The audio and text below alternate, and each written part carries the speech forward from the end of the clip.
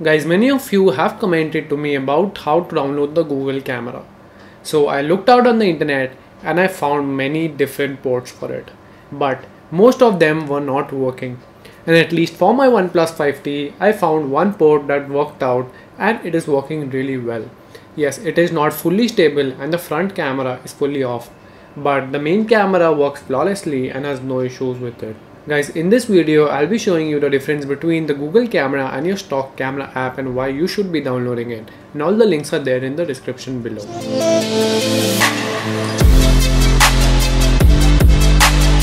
Okay, so before we start, I'll tell you that I've tested this build on my OnePlus 5T. It works really well. I've not tried it on other devices, but I'll be leaving different links in the description below you can check and if something works for you then it's fantastic. I'm not sure that every APK or one APK will work for you but yes there'll be multiple links in the description below and you can check them out. Now let's come to the difference between the stock camera app and the Google camera app. The first one is from our most handsome guy at NoisTech.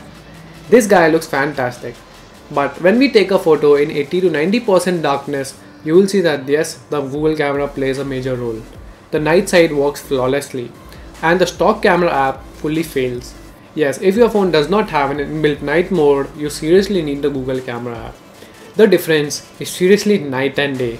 Night is your basically your stock camera app and your Google camera app converts that night photo into a day one. The difference is really flawless. I mean you cannot even expect such good photos from the Google camera. Then I had one more photo of my computer which turned out to be really very good. If you look closely, you will see that on the keyboard, you will see the major difference part. On the keyboard and the mouse part, you will see that the colors on the Google camera are really very good. The Google camera has got some great highlight details.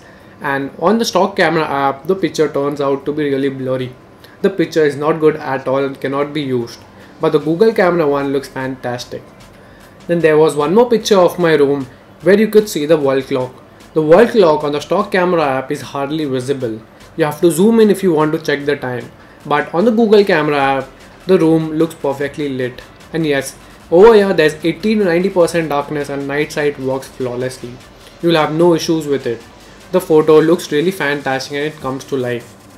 And then there are many different photos where you will see the differences between the google camera and your stock camera on night and day.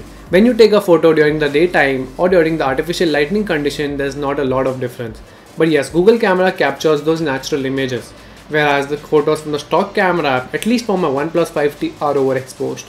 I do prefer the photos taken from the Google Camera app because the colors turn out to be really very good.